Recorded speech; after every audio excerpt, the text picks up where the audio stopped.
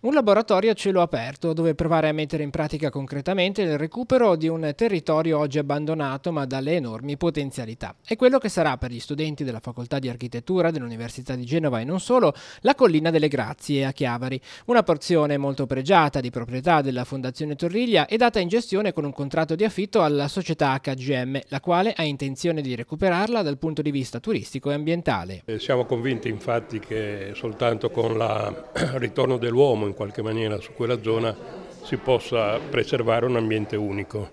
Quindi nessun tipo di speculazione, anzi il pregio di quella zona di tipo ambientale ci consentirà poi di promuoverlo meglio perché l'intenzione è quella di farne un albergo diffuso, quindi di creare condizioni perché si sviluppi un certo tipo di turismo a Chiavari e insieme con le attività turistiche si possa sviluppare anche nuova occupazione.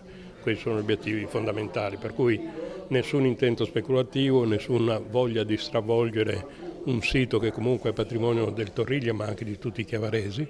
E quindi l'auspicio è che possa ritornare anche la popolazione chiavarese a frequentare quelle zone attraverso appunto il recupero dei sentieri e quant'altro. Nel frattempo continua l'opera di pulizia affidata al Pellicano Verde, cooperativa del gruppo Tassano. Rovi e serpaglie sono state tolti e sono tornate accessibili diverse zone dell'uliveto che sale lungo la collina. Resta da sciogliere il nodo legale relativo alla competenza di alcuni interventi urgenti di manutenzione, ma l'accordo siglato con l'università rappresenta un segnale di attenzione da parte della società HGM. È un segnale di di conferma da parte di HGM e di attenzione al territorio. Da parte nostra stiamo cercando con HGM in termini di confronto civile direi di, di risolvere questo problema interpretativo di questo contratto che lascia, lascia adito a interpretazioni diverse e dobbiamo cercare di trovare una sintesi che dia soddisfazione a entrambe le parti.